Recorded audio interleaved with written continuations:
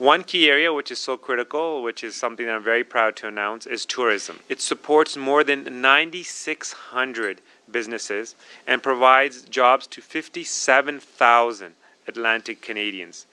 So, to build on this success, I'm pleased to announce a joint investment of $24.5 million to position Atlantic Canada as a top global tourism destination. This investment is so critical because it's going to help generate $200 million in export revenues for Atlantic tourism businesses over the next three years, add 200 new businesses to the sector, and create 6,000 new jobs over the next three years.